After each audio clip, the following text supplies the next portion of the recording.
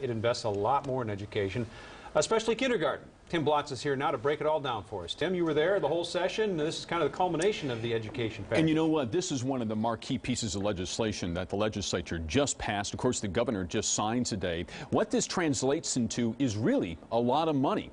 We're talking about $234 million in the next biennium. That's the next two years, and it's going to help repay back the school shift a lot faster. A big component of this is early childhood education. We're talking about $40 million during the next two years to send 8,000 kids on scholarships to early childhood education programs. We're essentially talking preschool here. But a marquee piece of all of this is all-day kindergarten. $154 million over the next two years to allow parents to send their kids to kindergarten all day long. For the past six years, the North St. Paul School District has offered full-day kindergarten. Here's a look as to how they've made it work. Can you guys believe you're going to be first graders? In Deline Sanders Richardson Elementary School kindergarten class, They had an old station wagon. the children are here every day, all day. And when she's not reading to them, she's teaching them. Like right now, they're doing um, word sorts where they're taking blends of letters and putting them together with the sounds of pictures. This is not the kindergarten class of the past. By the time school ends here in a couple of weeks, you will have how many students reading at an advanced level? I would say over half the classes at an advanced level, of D or higher. That's about a second grade level.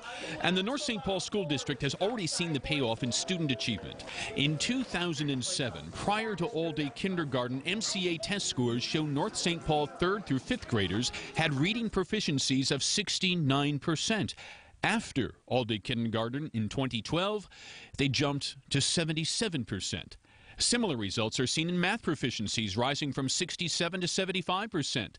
And Principal Jim McLausich says it's also reduced the achievement gap between white and minority students by nearly 10 percent. The information that we've been able to gather here in North St. Paul uh, would show that our MCA test scores have risen incrementally over the years that we've had the all-day kindergarten. We've been able to track it up through both third, fourth, and fifth grade.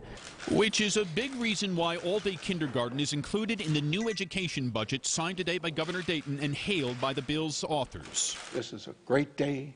It's not only a home run, it's a grand slam. Every school district may not see the same results as North St. Paul, but at least here, teachers argue it has worked. People have an image of kindergarten of you know taking naps and things of that nature. This is a really rigorous program. No, I can guarantee you this is not the same kindergarten classes that my own kids went to a few years ago. When we talk about all-day kindergarten, a lot of the parents are already asking, okay, when?